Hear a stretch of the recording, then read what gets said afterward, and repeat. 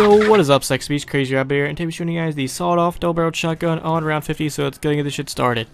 So this weapon, I think, is actually only available in Verrückt. I think the only way to get it on Shi No Numa is by using the console command give all, and that's exactly what I did to get this weapon. So next couple weapons I'm going to be showing you guys are all kind of fairly weak weapons, and I'm pretty sure we all know exactly what they're going to do on round 50 but for some reason you guys really like to see me get tortured and to see me take these crappy guns to round 50, so that's exactly what I'm going to do. So this weapon does absolutely nothing on round 50. I think it took me like 15 shots to a zombie, maybe 10, 10 to 15 shots around there to actually get a kill. That was even with aiming for the head. And of course, since it's not pack-a-punch, it's really not going to do anything.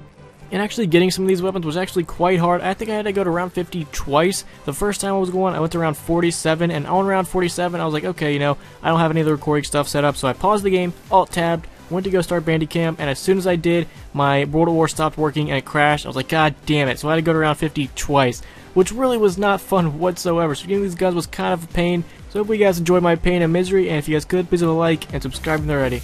Peace.